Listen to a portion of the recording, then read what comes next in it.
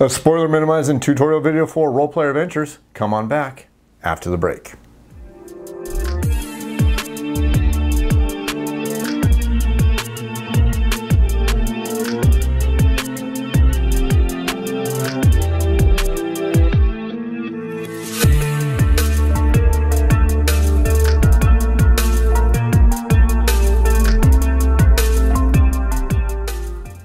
Hey everybody, welcome out to the show Board Game Reviews. This is a YouTube video dedicated to the tabletop gaming hobby, and this video is part of a video series looking at the game of Roll Player Adventures.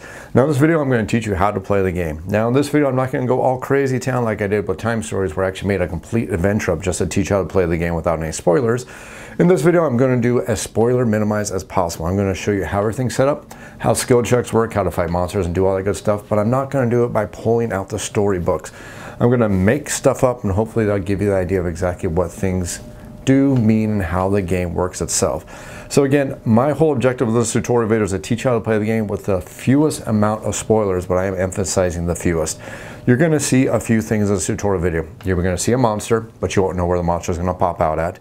You're going to see a skill check, but you don't see where the skill check is going to occur at. So it's not really super spoilery. But I'm going to teach you how to play the full campaign game, meaning we're going to set up our campaign sheet, we're going to pick our characters, and we're going to go through how to play the game. What I am not going to cover in this game is I'm not going to teach you how to play a character that you're going to pull out of the Roll Player dice game. Two reasons why I'm not going to do that. One, I don't think it's going to be part of what people want from this video because not everybody owns that game. And second of all, it would require you to actually understand a lot of the concepts from the game, and that's just beyond the scope of this video. So that's enough of the introduction here. Let's go and teach you how to play the game of role-playing adventures with the very first thing that we need to do, which is going to be the campaign setup, which starts us with a campaign tracker. So let's go and go over this and show you how to make your characters and start playing the game of role-player adventures. Now, before we go any further and before I forget, I am going to include the Codex expansion, which is the backstories. I'm pretty much assuming anybody who bought Roll Player Adventures bought the backstory expansion because, well, it adds more to the game and you, you definitely want it, trust me. I played this game enough to know that the backstory adventures are going to add a lot more to the replay. I mean, this game, basic, just look in the basic box here, you're looking about two good playthroughs for the game. The Adventure Codex is going to probably double that for you because you're going to see a whole bunch of backstories which are going to influence things in the game and you'll want to pick it up. Trust me on this one. So the very first thing we need to do is when we're starting the game is we're going to start a campaign. And since this is a campaign game, there's a little bit of prep that we need to go through before we actually enter the game proper. So let's go and cover that prep, that prep stuff. The very first thing we're going to do is we're going to take our dice bag and we're going to fill this up with all the dice. Now these are the dice that come in the six colors and these are to be the dice we're going to use for basically everything we're doing in the game.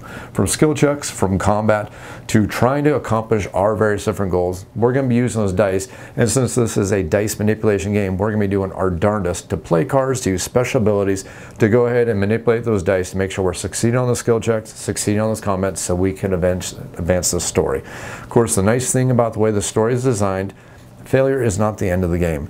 Matter of fact, you can actually die in this game, die, knocked unconscious, multiple times, at least 10 times before anything super really bad happens to you. So you can pretty much stumble your way through the story. This game is very forgiving. This game is first and foremost a story game. Secondary, it is a dice manipulation game. You fail the dice manipulation, you're still going to have fun, you're still going to see storyline, and you're still going to unlock everything. Matter of fact, there are some story events, I'll cover this in my review, where failing might actually be the better decision because it's going to affect your storyline. Trust me, you'll see what I mean when you start playing this game. Not going to go any further down that rabbit hole because spoiler minimized. So now that we got our dice bag ready, we need to prepare our campaign journal. Now the campaign journal is going to be required every single time you start a brand new campaign. This is the first thing you're going to do. And second thing you're going to do is create your character. So the first thing we need to do with our campaign journal is we need to fill out a couple of these boxes on this campaign journal. And the boxes we're going to fill out is going to be based on our player count. And let me correct myself, on our hero count. Because while you play this game as a true solo game, one player controlling one hero, I highly, highly recommend you play at least two heroes on this game. I'll cover that also in my review, but trust me on this one, play two heroes. You're gonna have a lot more fun. The story's gonna feel much more, eh, that's called organic. But the first thing we wanna do is we're gonna start filling out some things on the campaign tracker. If we're playing a one player game, we're gonna put our play limit down as four. If we're doing a two player game, our play limit is gonna be two. If we're doing a three player game, our player limit is one. And of course, we're playing a four player game, our play limit is gonna be one. For this tutorial video itself, I am going to be assuming that we're doing a one player game. Again, I don't suggest this. I'm just telling you what's what we're going to do for this demo video right here. So what we're going to do is we're going to fill out our play limit. Since we're playing a one-player game, we're going to put the number four in here to signify our current play limit. Now, this is going to affect how many cards we can play every single action, skill check, combat round, whatever we want to say. That's the maximum cards we get plus our bonus play. This will all make much more sense when we get to that point. Next up, we want to fill in our bonus play limit. Now the bonus play limit is going to be one unless we're playing a three player game. So one, two, or four players, bonus limit is one. Three players is two. I'm showing a one player game, so it's going to put number one here in our limit to signify how many extra cards we can play by one and only one player every skill or combat. The final thing we're going to fill out here is going to be our combat limit, and this is going to be three depending on one, two, three, or four players, doesn't matter. Our combat dice limit is always going to be three. Of course, nice thing about this is make sure you're doing all this in pencil because while this is a campaign tracker, like your character sheet, it's going to be changing. Pencil is going to be your friend here. Now that we've got our character sheet basically started, the next thing we're going to do is we're going to make our character. So to make our character, there's going to be a little character sheet you're going to slide in here on these dual layered boards. And these need to be lined up in a way that you can see the various different colors and you can write in on these right here. Now, I use photocopies, and the reason why I'm doing this is because this is not my copy of the game. I am borrowing a friend's copy of the game because they were a Kickstarter background. I was not for this one. And trust me, the real character sheets fit in here a heck of a lot better. These photocopies are just using standard paper. Trust me, it works a lot cleaner because it's actually a little bit thicker cardstock. Again, not my copy of the game, so I'm not destroying any of these components because I don't own this game.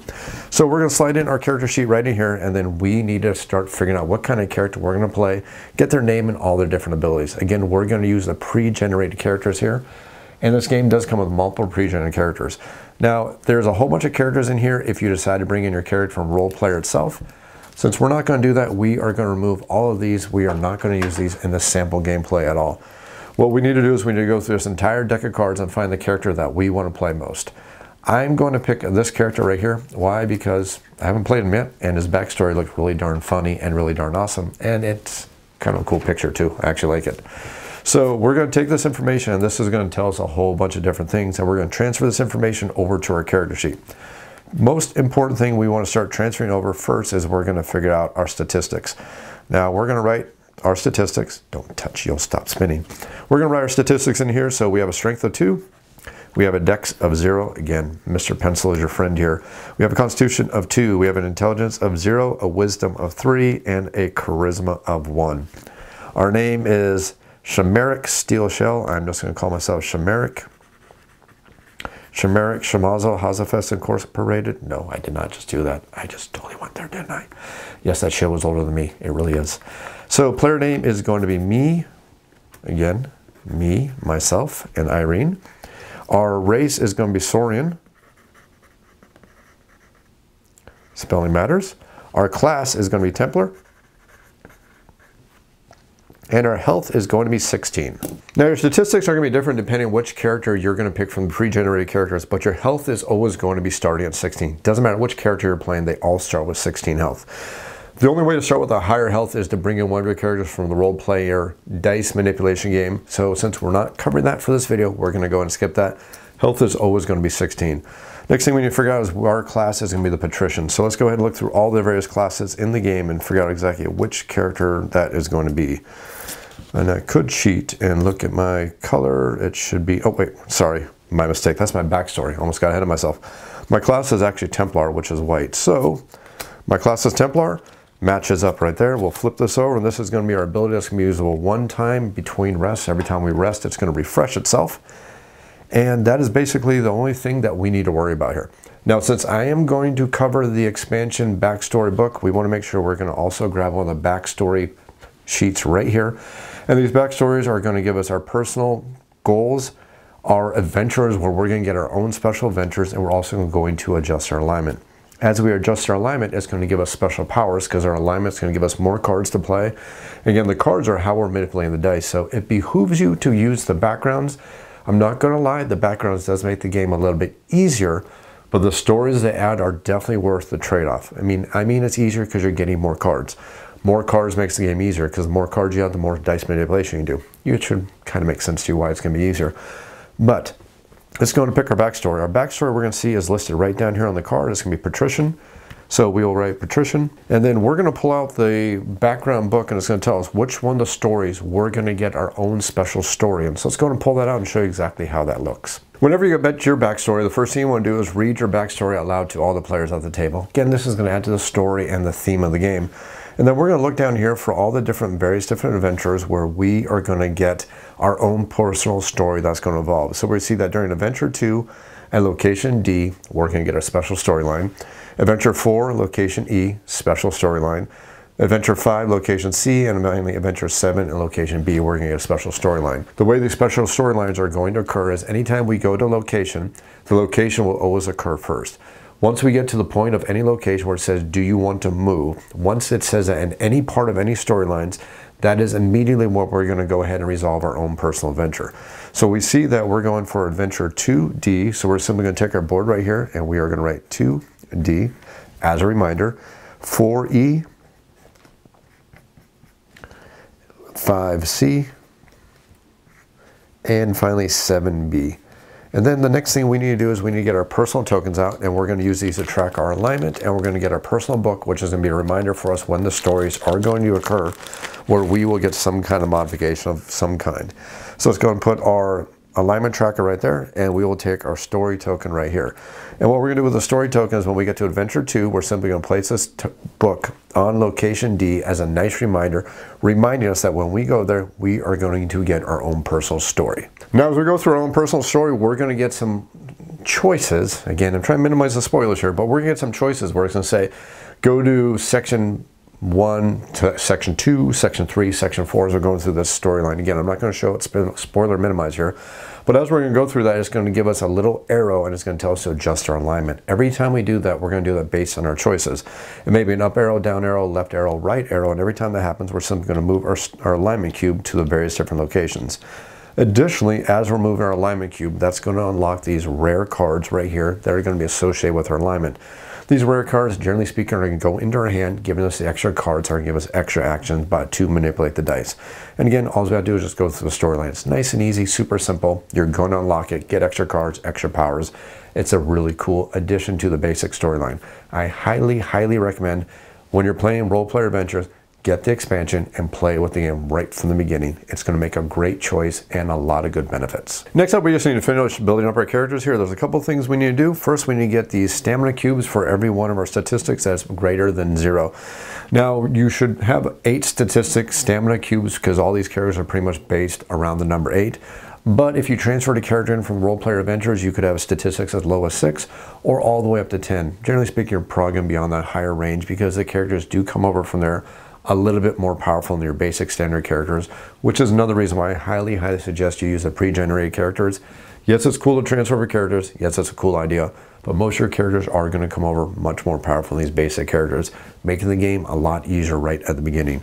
So you see that we have two stamina, so we're going to put two cubes in our stamina. We have zero dexterity. Ignore it. We have two constitution, two cubes of constitution, zero intelligence. We have three in wisdom, and we have one in charisma. Now there's two different sizes of cubes in the game. The bigger ones represent three of anything. The smaller ones represent one stamina. Generally speaking, in your attribute row, you're going to use the singles. In your fatigue row, you're going to use the larger ones when you need to make change. Most of the time in a one and two player game, you'll never need to make change. In a three and four player game, that's probably going to happen a little bit more often. So now that we have our statistics in there, the only thing we'll have to do is get our starting hand of cards. Now our starting hand of cards, again, is going to be based on our pre-generated character we have right here. And it's going to be listed right here. And we're simply going to take the cards that come with the game and we're going to go through and grab those cards. For example, we see that I'm going to start with the Blessed Mace and I'm going to start with the Tower Shield. There's the Blessed Mace and I just need to go through here, find the Tower Shield, nice and done. Super duper easy, not that hard to do. Next up, we are going to have our trait cards. We see that the traits I have is obnoxious. Well, that's just perfect. I'm just, I think it's just more fun than even everything I was thinking before.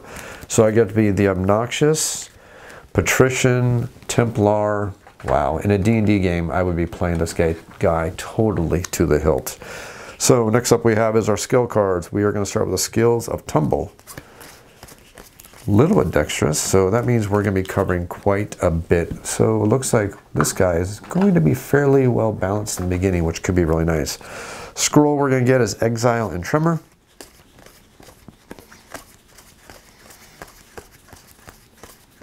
Tremor, and Exile. Exile is actually really super nice. Gets you an extra die whenever you need one. And it comes out as a 3, so you can't beat that at all. Finally, Armor. We have Chain Gorget.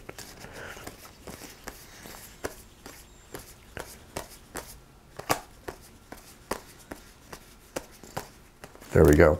So this is going to be our complete hand of cards, and these are the cards that we are going to start with. Of course, we're going to gain more cards as we go through by spending our money and going on adventures, loving up our characters. But this is our basic hand of cards. So your basic hand of cards is, they tell you to keep it face down over here on the hand section of your player board. Your discard is going to go here, and your spent card is going to go right here.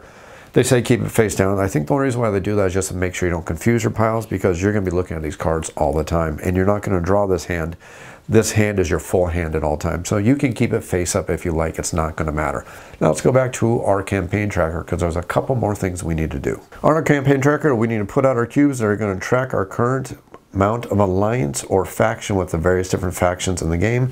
There's three factions. There's the King's Favor, there's the Starlit Door, and then there's the Dragul Favor. Now, anytime your faction goes up, you're going to increase it this way. Anytime your faction goes down, it's going to go this way. Various different story elements are going to ask you what your current faction level is. For example, it's going to say, is your Starlit level at 4 or higher? If it is, you're going to go to section A of the book. If your faction is currently four, 3 or lower, then you go to section C of the book. So you make sure you're constantly tracking your faction at all times. Additionally, your faction is going to go up and down based on your decisions. And if your faction ever needs to go beyond 10, or if ever needs to go below minus 10 on either one of these tracks, for every point it needs to go above or below that, instead of moving the track, you're simply going to get one point of experience for the difference. So for example, if my Starlit faction is currently at level 10, and I do an action that says gain three points of faction with a Starlit door, since my faction is already topped off, instead of doing that, I'm simply going to go ahead and grab three experience points. And then experience points are tracked with these blue cubes. You'll just simply put the blue cubes right there. And experience points are used for resting. They're also used for leveling up your characters at the end of every single adventure. It's probably a good time to go over our adventure book really quick for a campaign tracker just to cover a couple really quick items just so you understand how it works when we get to that point. Experience is going to be tracked with cubes. You're going to place it right here on any unspent experience at the end of every single venture. You're simply going to write down here in the save category. Gold you're going to keep right here. And as you go through the venture, you're going to gain more gold. And at the end of every single venture, you're just going to track how much gold you're going to save over the course of the campaign. Anytime you gain a title, titles are going to come across as cards. You're going to stack up these cards in the titles section right here. You never lose titles. When you get a title, it's stuck with you for the rest of the campaign. Whereas opposed to keywords, when you get a keyword, you're going to write it down in the section. There are no cards for keywords. You're simply going to write it down. You're going to keep that keyword for the entire adventure you're on, not the campaign. Titles last for the campaign. Adventure, I'm sorry, keywords only last for the adventure. At the end of every single adventure, when you're visiting the market and spend your experience points, just have somebody at the table go ahead and erase all your keywords. They never carry over. Just make sure you're covering your tracks right here. Your mastery track right here is going to allow you to increase the statistics of your characters by spending experience points. You're going to track which campaign as you go through the adventures, and you're going to track your deaths over here. Every time you die, you're going to mark off one of the deaths, pull out the storybook section for the death, read that section of the death, which is going to tell you what's going to happen, and you're going to carry on from there. The important thing to understand about this death track is it's really an unconscious track, and it's only going to occur when the entire party is knocked unconscious. If you're playing with a four-player game and three players knocked unconscious, and one player does the Hail Mary, defeats the bad guy, nobody's knocked unconscious, you're not going to knock off on the unconscious track. It's going to happen a lot more when you're playing a one-hero game. In a four-player game, you guessed it, it's probably not going to happen for the entire campaign. Not a good thing, not a bad thing. It's just probably the way it is with the difficulty level of the game. Along with the campaign setup, which you only have to do one time at the start of every single campaign, every single adventure has its own specific setup. Now again, minimizing spoilers, I'm not going to pull out the book here, but basically this book right here is going to have some thematic text on the back. Quickly flip it over so you don't see it. And then at the first page, it's going to give you a whole bunch of special setup instructions, including which specific map you're going to use. Again, all these maps are double-sided. There's some terms down here which are going to tell you which well, basically which map you're going to use. Oh, also, you're going to notice some symbols around the edge. You're going to have a symbol and then a Roman numeral across the top. Those are going to be very important because you're going to have discovery cards that are going to come out that are going to modify the map. If you get a discovery card that is a map piece, you're going to place it in whatever section it needs to go in. In the lower left-hand corner of every single discovery card, you're going to see the symbol and a Romeric Roman numeral, sorry, which is going to show you which section of the map it's going to go into, and that's going to modify the map, possibly add in different locations, everything along those lines. You're also going to be told where you're going to start your adventuring party, which is represented with this miniature that shows two heroes on it. Yes, the game does play up to four players, but our adventuring party apparently is always two players. Next up, we're going to be told to take a couple of these tokens as a randomizer. Now, these tokens right here are specifically going to be associated with the adventure book right here, which is going to be the Tome of Encounters. These go to the Tome of Encounters. These different locations right here are going to be affiliated with this actual adventure book. So for example, no spoilers really here, the very first adventure is going to tell you to take two of these tokens, place them face down, randomize them, and you're going to place them on these various different locations right here. Anytime a player, while they're traveling along these paths, have ever crossed one of these adventure tokens, you're simply going to flip over that adventure token, and then you're going to pull out the Book of Encounters, and you're going to pull into the specific section of the Book of Encounters. I keep calling Book of Encounters. It's technically the Tome of Encounters. Okay, sorry. So basically what you're going to do is you look for the section that's based on your current adventure and the numeric number that you revealed. So there are 11 different adventures in the game. So if you're an adventure number one, you're going to go to section one, which is adventure one, find section number one. If I had revealed this token right here, because I decided to go that direction, I'm going to go to adventure one, section number two. I'm going to read the text out loud and it's going to give me some options based on an if then scenario or a whole bunch of question marks. Basically, if you see an exclamation mark, it's an if then scenario. If you see question marks, you're going to make a choice of exactly what you want to do. And again, that's going to be different based on different adventures. So the bottom line here is if you see these little tokens right here, Tome of Adventures. If you see these lettered locations, it's going to be the Book of Adventures for the specific adventure right here.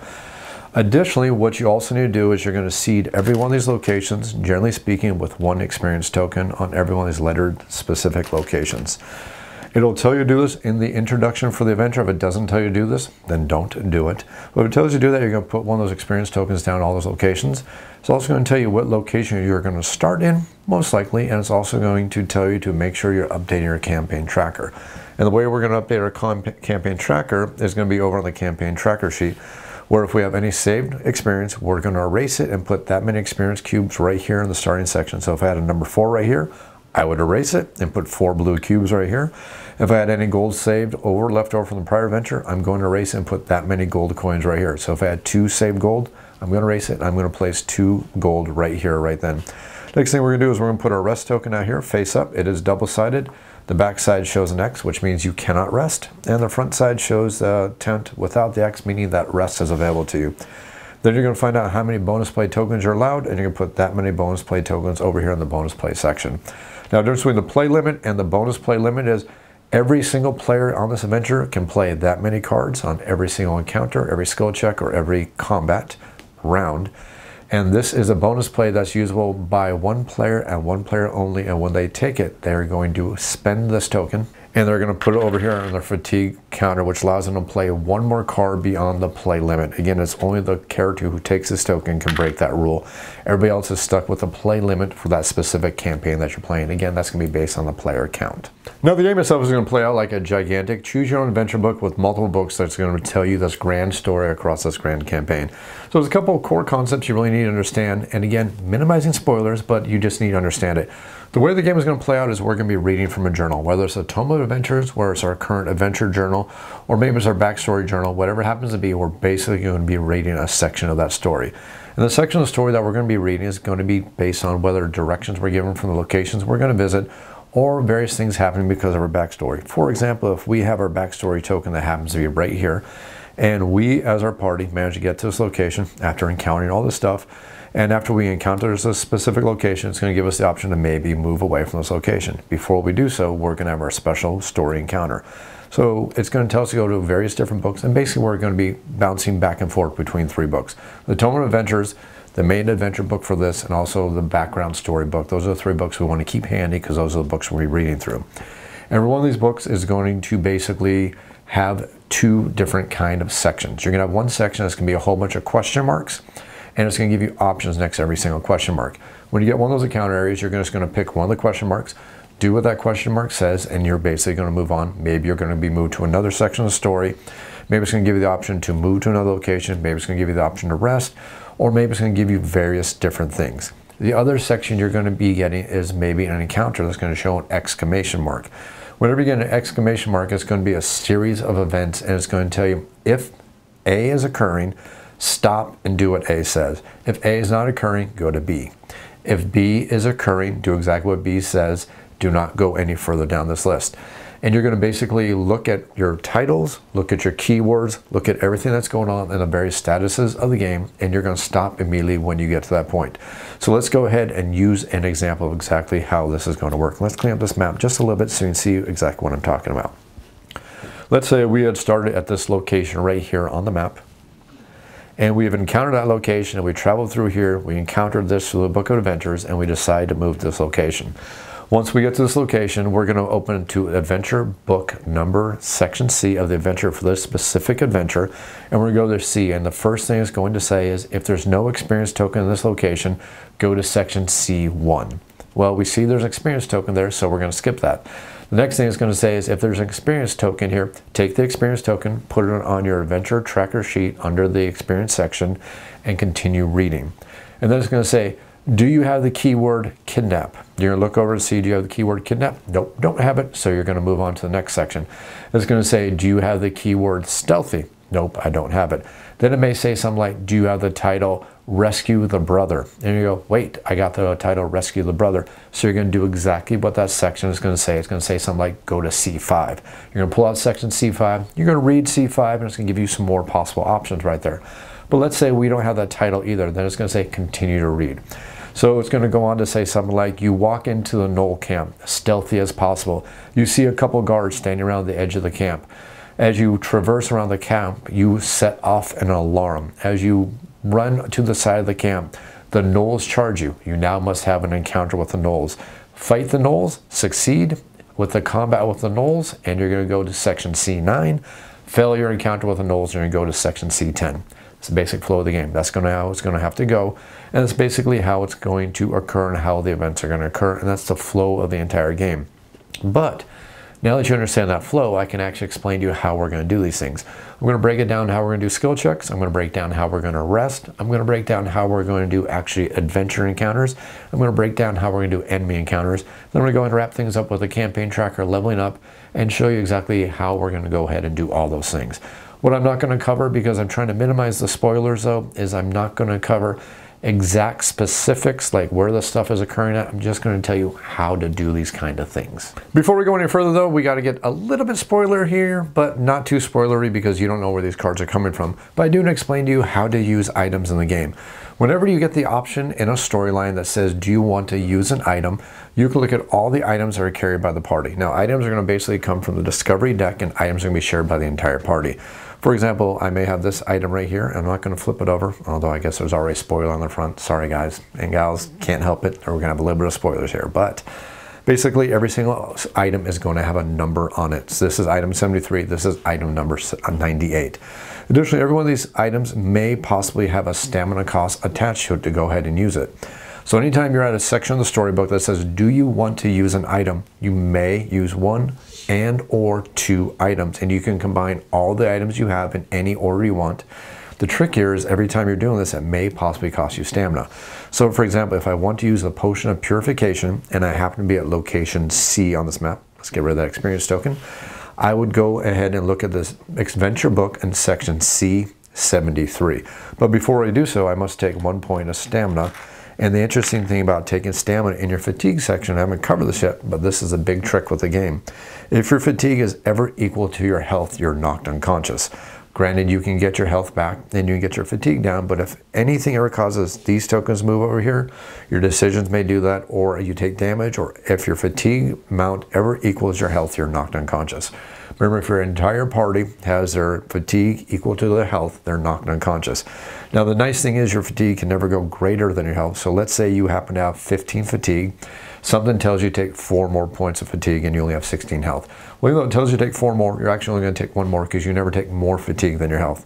You're going to go to 16. The remaining three are just going to basically be discarded back into the tray. You're not going to get them and you're going to be knocked unconscious. Again, if your whole party is knocked unconscious, don't forget we're going to have to go over to the unconscious section of the storybook to figure out exactly what is going to happen. But to go ahead and use an item, it has any stamina cost, every single person in the party must go ahead and take this. So this was a four-player game, that means that everybody in the party, since this has a one stamina cost on it, would have to take one stamina from the tray over here and place it in their fatigue section. If we're only playing a one player game, only one person has to do it. If there's no stamina cost to do so, you pretty much want to do this as much as possible because it may unlock extra story things. Now what you're basically going to do is you're going to look at your current section and the item and you're going to try to find that in your section of the storybook. So if I want to use the potion of purification at the Gnoll camp, I would go to C section number 73 in this specific adventure book. But if I wanted to combine two items together, what I'm going to do is I'm going to suffer the stamina cost of all the items involved. So let's say this chisel would cost four stamina and this would cost one stamina. I'd have to spend five stamina and everybody in the party would have to do so. And then I'm going to turn to section C7398. Now when it comes to this, when you're using multiple items together, you're going to put the items in order from lowest to highest. So if I have an item 50, a 73 and a 98 and I would use that item 50 and that 98 item together. I would go to section C 50 98 if I want to use the item 50 and this potion right here I would go to C 50 73 if I want to use a potion purification with the chisel I would go to C 73 98 of course after spending the stamina that's basically how you use items. So I'm gonna go and get rid of these items because again, I'm trying to minimize all the spoilers on this tutorial video. So before we go into cover skill checks and combat, let's go ahead and discuss resting because resting is something you're gonna do quite often in this game. It's gonna be one of the ways we're gonna get our fatigue down and make sure our fatigue doesn't literally bring us down into unconsciousness. So the very first thing we're going to do when we're doing a rest action is we need to check a few things. First of all, the storyline needs to allow us to rest. We can't just rest anytime we want to. There's two conditions that must be met. First, the storyline must give us the option to rest. And the second thing is our rest token must be currently face up. If our rest token is currently shown the X side right here, we are not able to take the rest action. As long as it is currently face up like this, we are more than welcome to take the rest action we can go ahead and get some of our resources back, including getting down our fatigue and also getting our statistics back that we can use to go ahead and manipulate these dice because the more fatigue we get, again, the closer we are getting to going unconscious. So the first thing we're going to do when we decide to do a rest action is we need to decide exactly how much experience points we want to spend on the rest action. And to do so, we're simply going to take experience points from our experience pool and we're going to discard these experience tokens back to the tray and then we're going to roll a certain amount of dice based on the total amount of experience we just discarded. Now this is going to be really important because if we got lots of stamina, the amount of stamina we're going to get back is going to be based on the roll of the dice. So if I decide to discard two experience points, that means I get to grab two dice out of the bag and I'm going to roll these dice. And that's going to be how much fatigue I get to remove from my current character right here. So I'm going to take, in this case I rolled a six, I'm going to take six fatigue, remove it from here, and put it back in the tray. Let's go ahead and take a slightly better number so you can see exactly how this works.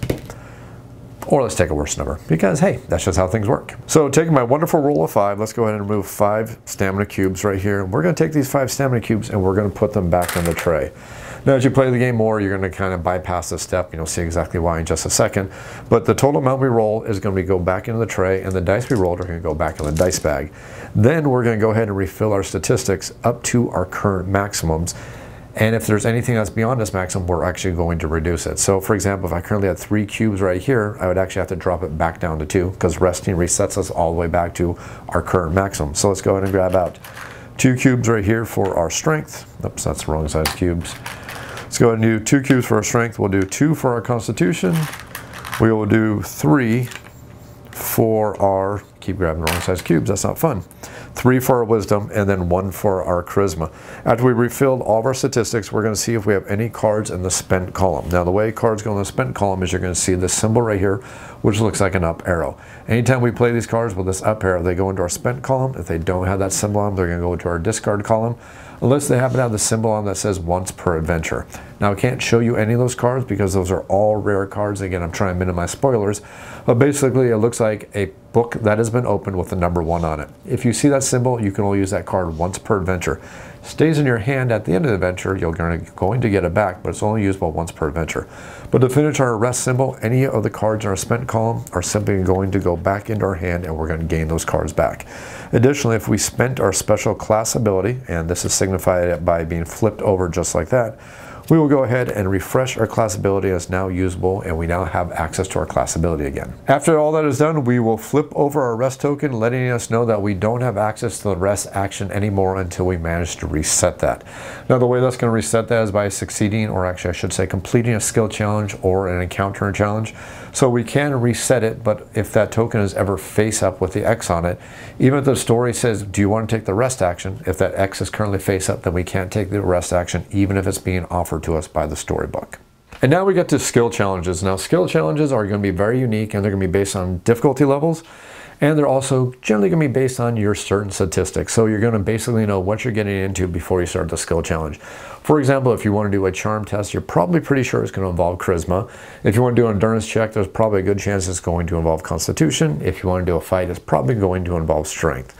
Not guaranteed, but that's pretty much what's going to happen.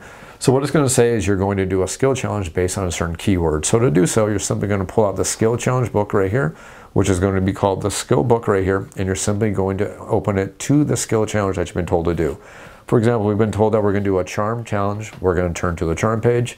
We're told that we need to do interpretation, we're going to turn to interpretation. And this is all in alphabetical order, so it should be pretty easy to find. So let's say we were told that we need to do a persuasion skill check. Then it's going to tell us the level of the skill check with a Roman numeral after the skill check. So for example, it may say persuasion 2. That means that our skill check is going to be based on this column right here. Said persuasion 4 is going to be based on this skill column right over here. But let's make, take it easy on our level 1 character and say that we need to do a persuasion skill level 1 challenger, which is going to be listed right here.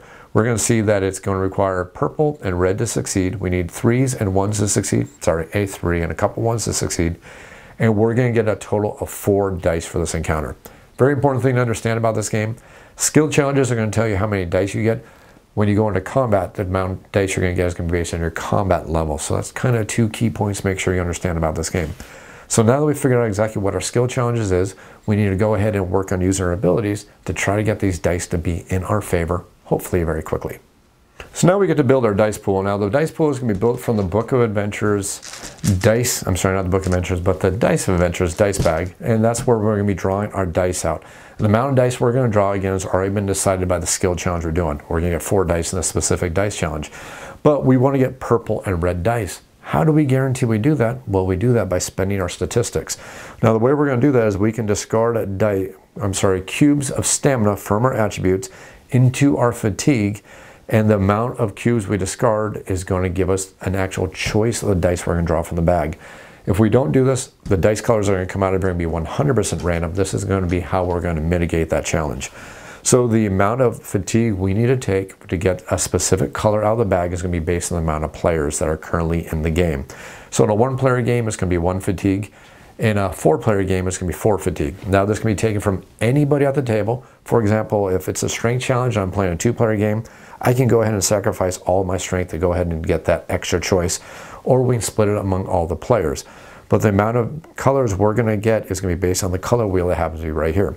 So if I want a red die, I need to spend strength. If I want a black die, I need to spend dexterity. Uh-oh, I have a zero dexterity. How do I do it when I don't have that stat? Well, if you don't have a stat, you can spend up to three cubes from your other stats, again, among all the players at the table, to go ahead and represent that one stat, again, times the amount of players. So if I need to get a black die really badly and I'm playing this game right now, showing this one player right here, and I want to get a black die to make this challenge succeed, I can discard three cubes from anywhere else from any of my stats, or another player at the table can help me do that. So for example, let's say I'm playing a two-player game, I can spend two of my constitution, and then another player at the table can spend one stat from any stat besides the black stat, their dexterity statistic, spend that one cube, and that's going to allow me to draw one cube, one black die from the bag right there. So what you're going to be drawing is going to be based on how much you want to sacrifice.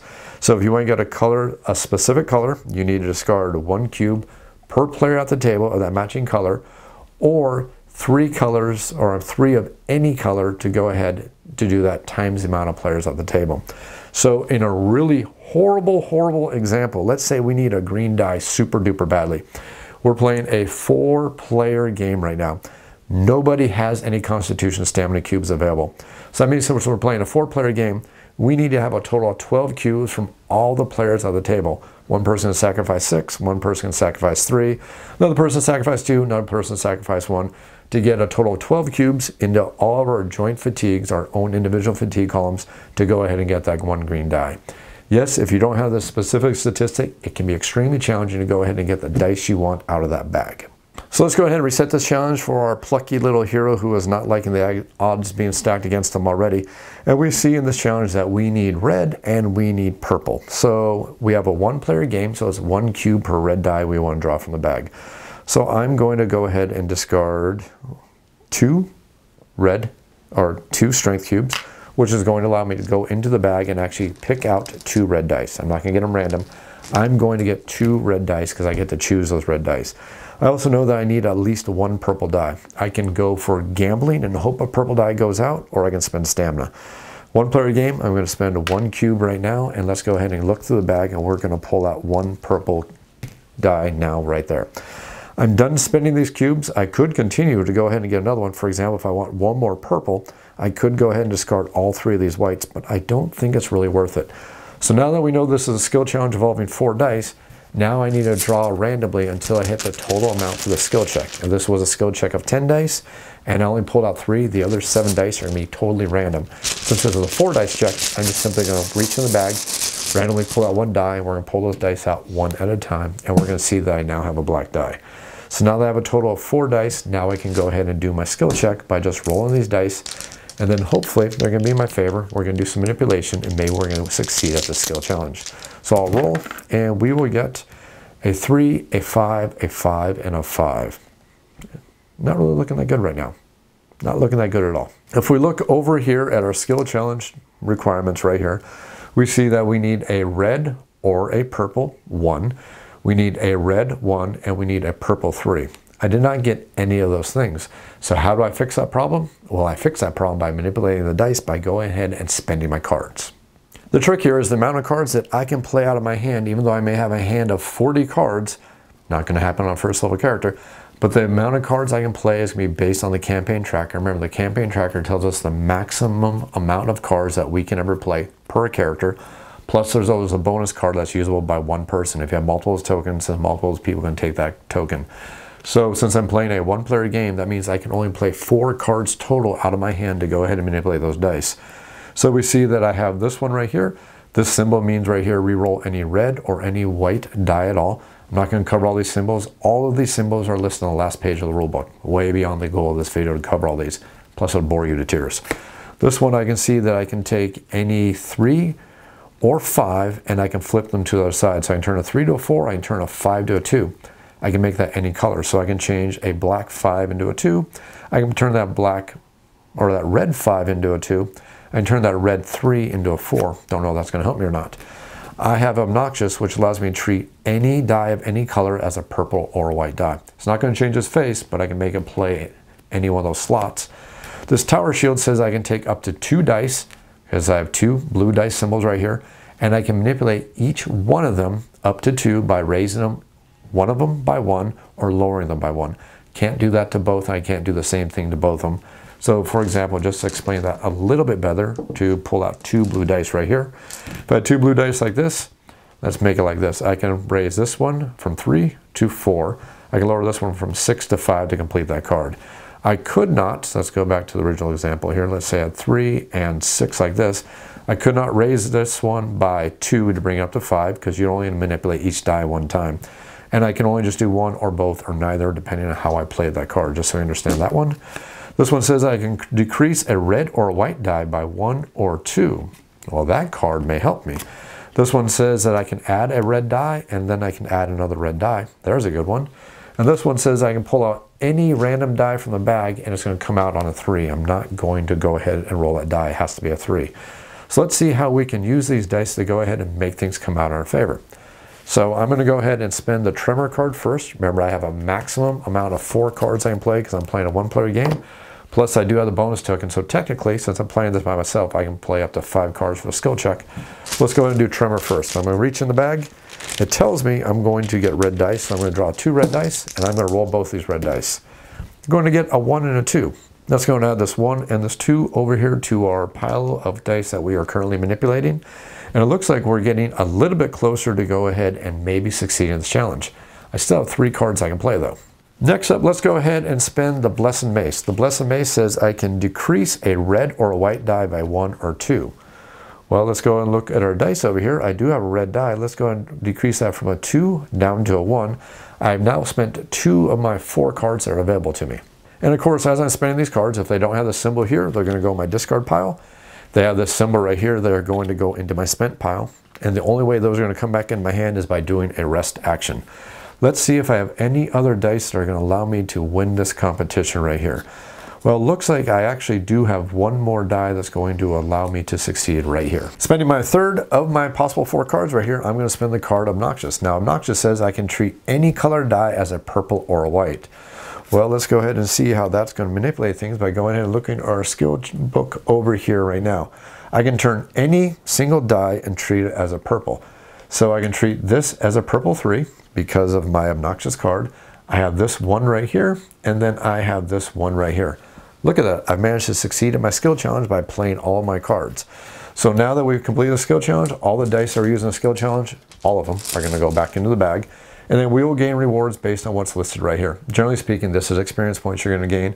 And most of the time, it's just going to be two experience points. You're going to take the gain depending on which one of these you succeeded in. So to carry over my prior example, if, for example, I had only succeeded right here, and I only succeeded right here, but I didn't quite get a die to match that up, I'm only going to gain one experience. Since I completed the entire challenge and that section was covered right there, I'm going to gain two experience points.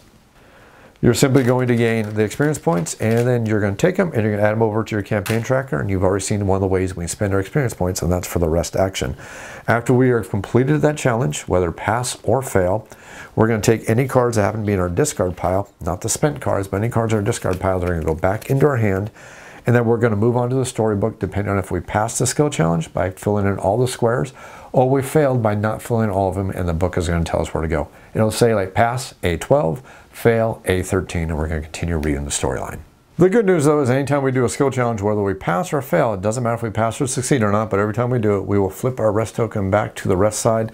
Let us know that we do have the rest action available to us as long as the book is allowing us to do so. That's the important thing. You can't just rest whenever you want to.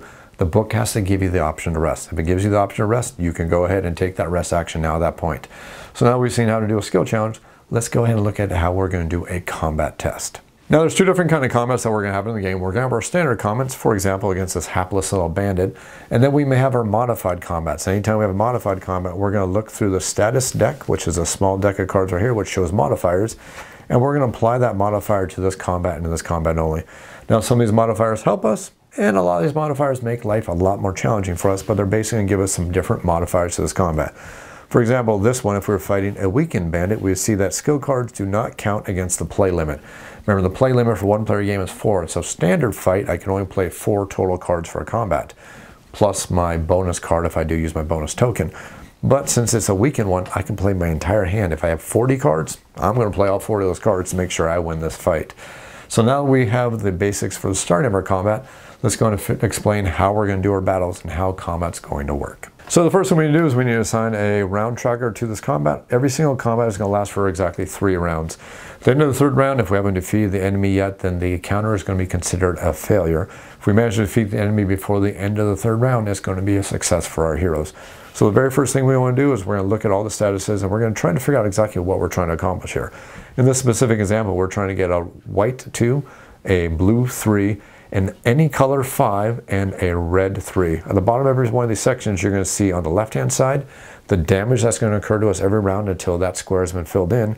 On the right-hand side, you're going to see the bonus we're going to get at the end of the combat if we manage to fill that square in. Additionally, every single round, we're also going to have an additional penalty that's applied to us at the end of the round. And it's going to be the penalty that's currently showing. So for example, at the end of round one, this is our penalty. At the end of round two, this is our penalty. And at the end of round three, well, there's no additional penalty except for the fact that we've lost the combat. So maybe that's a worse penalty than what we had to deal with in the first place. So now that we've seen what we're dealing with, we got to start building our dice pool again. Let's go ahead and look back at our character sheet. So just like your typical skill check, we're going to be building dice from our dice pool out of the adventure bag right here. Based on any of the statistics, stamina we're going to spend to go ahead and make sure we're to get dice in our favor. Here's the trick. Unlike a skill challenge, which tells us how many dice we're going to get for the skill challenge, in combat is different. The amount of dice we're going to get in combat every single round is going to be based on our current combat value. And again, that is going to be tracked on our campaign tracker. So for example, in our starting campaign right here, remember our combat value is level 3. That can go up by spending experience points at the end of adventures, but for our current combat, it's currently set to 3. Remember, we need four dice to defeat this guy? Yep, you can see how this early combat is probably going to go for our heroes. Luckily, we do have the ability to draw extra red dice. And since we do have the ability to draw extra red dice, that may influence which dice we're going to take out of the bag right here in the beginning. Because we know we need blue, we need white, we need red, and we basically need any color at all. Well, I can get two red dice just by playing a card, so I'm not too worried about getting the red. I'm worried about getting the white, blue, and the any color. So to go ahead and get the white, I'm thinking that I will spend one stamina right here to go ahead and draw one white die out of the bag. Again, we get a choice because I spent the stamina, one player game, only need to spend one. I need to get blue. I do not have any blue, don't have any intelligence at all. So I'm going to spend three stamina from other abilities to go ahead and get one blue die. I'm going to go ahead and spend one here. I'm going to spend one from right here, and I will spend one from right here. I spent a total of three, which is going to allow me to draw one blue intelligence die out of the bag right now. Now I think what I'm going to do is I'm going to go from random because I don't want to spend any more stamina because I'm going to do this whole process every single round and I want to control the dice and pull out every single round. So the third combat die, remember I only got three combat dice due to my statistic, is going to be a random draw from the bag.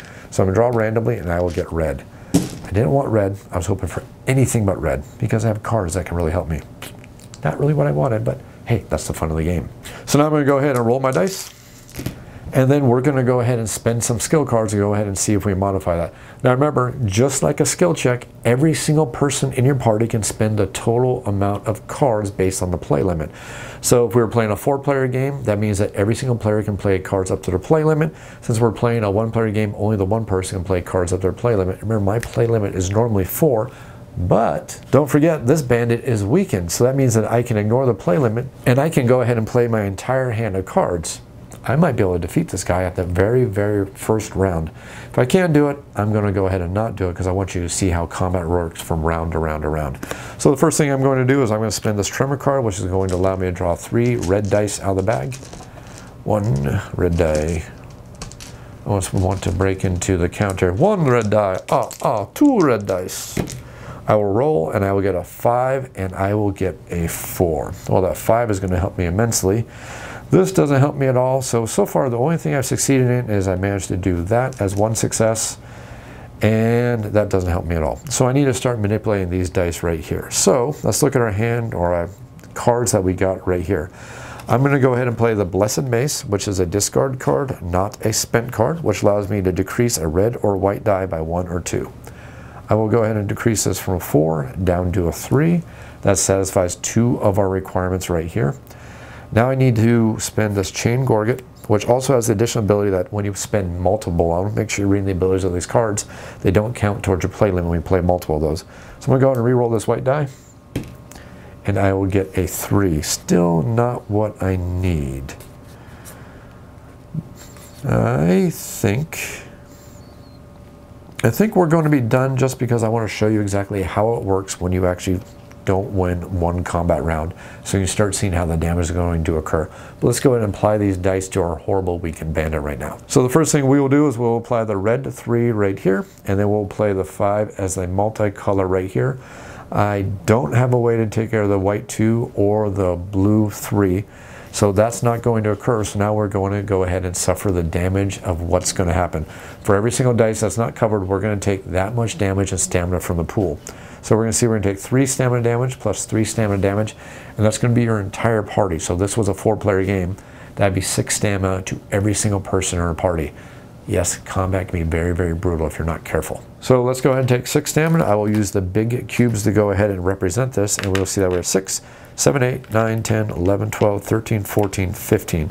I'm one stamina from being knocked unconscious. That means I cannot spend any more stamina here, because if I do, I'm going to be defeated.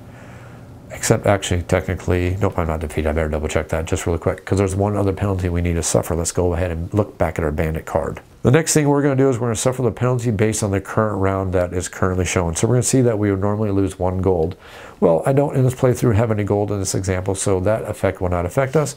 So we're simply going to advance to round number two, and we're going to start the entire combat round process all the way over from the beginning again, back from going ahead and selecting our cubes, our dice out of the bag. So since we currently have 15 stamina, that means I cannot spend any stamina at all to go ahead and help us with this encounter.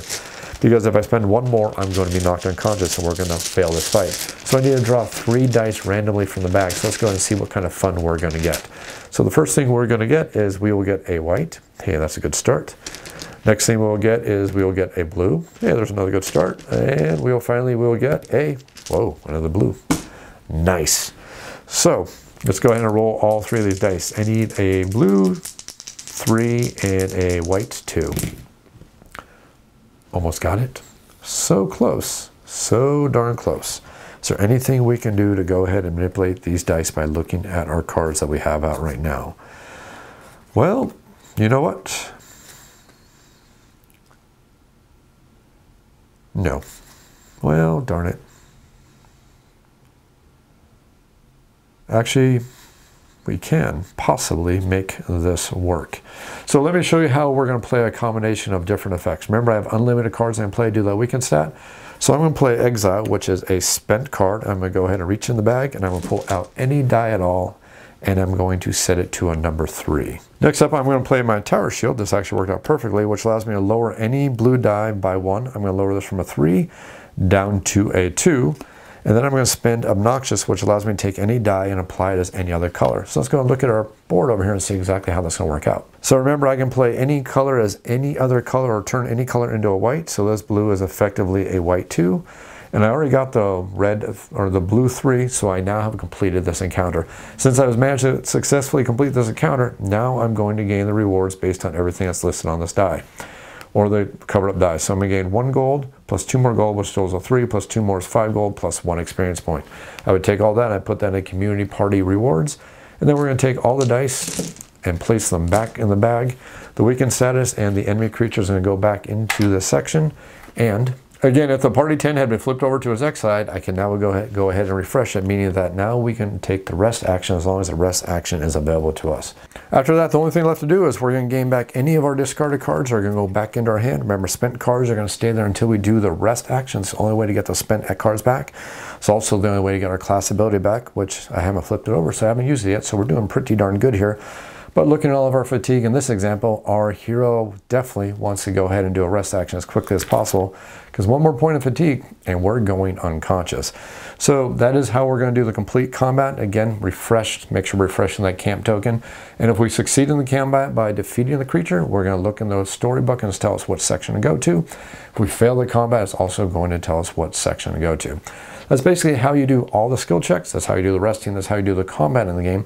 The only thing left to do is tell you what to do when we end an adventure and we decide that we are going to level up. At the end of every adventure, we're going to get the chance to level up. Now, the way most of your adventures are going to end is going to come to a section of the book that says, at this point, you may go to the end, which is going to be the final couple pages of that specific adventure book. Now, you don't always have to go to the end. Most of the adventures will give you the chance to continue to explore the map. If you decide to continue to explore the map, anytime you're given the move option, you can instead of moving, go to the end section of the storybook. But as long as you don't do that, you can keep exploring. And in this example, we could continue to go to all these different locations, unlock all the stories, see all the plot points and story points. But remember, your decisions are permanent and may also make different changes to the map. So don't think that you're going to see everything on every single playthrough.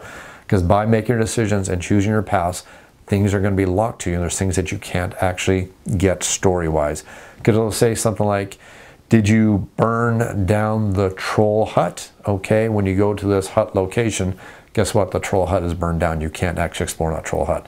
So that's basically how that storyline is going to work. But remember, you don't have to go to the actual end until you decide to, unless the adventure specifically tells you you have to. At the end of every single adventure, though, things we need to do is we need to take all the discovery cards that happen to be map tiles, put them back in the discovery deck. If there's any keywords we manage to go ahead and obtain, we're going to go ahead and just erase those all from our campaign tracker there's any discoveries that we manage to get that are items, we're also going to go back in the discovery deck. Any titles we manage to keep are we're going to keep over on the campaign tracker for all the titles. Any rare cards we manage to get are going to stay in our hand, especially if they specifically tell us to keep them in our hand. And yes, most of them you're going to keep in your hand. And then basically we're going to put the map away and we're going to go ahead and move on to the next adventure and set up. But before we do that, we need to do some cleanup on our campaign tracker. The first thing we're going to do on our campaign tracker is we're going to mark off the story that we just completed and then we're going to go ahead and get some adventure cards that we can go ahead and purchase. Now the way this is going to work for the purchasing of the adventure cards is we're going to pull out the stack of the armor, the skills, the traits, the scrolls, and all those different stacks of cards that are going to be available to us. We're going to randomly draw one card from every single stacks of cards, and that's going to be our available market. Once we've got our market cards set up, and all these cards have different costs on them, some of them have bonuses, some of them have extra abilities, and these are cards that we're going to purchase and put in our hand by spending the gold that we have. Now most of these cards are going to have a set card, a set cost in the upper right hand corner. I'm not pulling them out, trying to minimize spoilers again. But some are also going to have discounts on them. Some will say like discount wisdom, which means that the player who buys that card, the cost for them is going to be the cost listed minus their current maximum wisdom statistic. Someone may say that if your race is happens to be dark elf, you get minus two of the cost, whatever happens to be. But we're going to spend the gold for that. But before we do that, we get to spend our experience. Now, experience is going to be spent to raise up our attributes. Experience is going to be raised to raise up our play card limit. Experience will raise our combat dice limit. And experience is going to raise up our bonus play limit. All of this is listed on page 17 of the rulebook and it goes over all the costs. It's pretty darn self-explanatory. Basically, the minimum cost is going to be cost to go ahead and raise up those different things. The big thing to understand is that the mastery track right here to raise your statistics, you'll spend three experience points, mark that off, and everybody gets to raise one of their statistics by one. The trick here is that nobody at this point can have a score limit on their bonus greater than four until we get to this next section, the score limit six, and you kind of read across and figure out how that works right here. After we spent all of our experience, and we don't have to spend it all, any that's left over, we're simply going to discard, and we're going to write down in our save column to signify how much experience we have left over. And then we're going to go ahead and spend our gold on the market cards that we selected. Now you can buy some, none, or all those market cards, and the community gold is going to be used to purchase those cards, but you're going to give one of those cards to one of the players who's going to actually buy that card.